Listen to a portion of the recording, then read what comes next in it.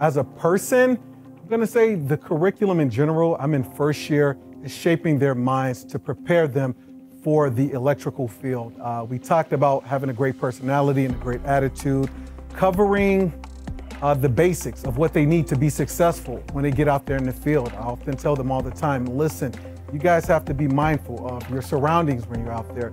Uh, we covered OSHA, okay? There's a lot going on. There's a lot of tradesmen that's trying to get everything done at the same time. So just, you know, watch your surroundings, be careful, Play, have a great attitude, and uh, you're gonna be successful.